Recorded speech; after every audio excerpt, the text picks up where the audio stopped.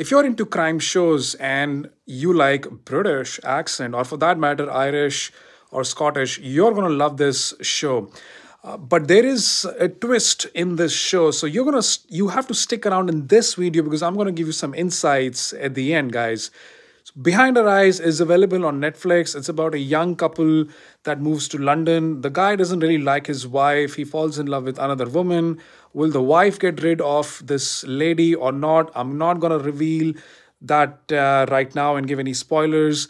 But what I will say is that this is a unique show about magical body transformation, exchange of spirits, telepathy. And that's what makes it a unique crime show. This is not your everyday crime show uh, you know that happens in urban cities.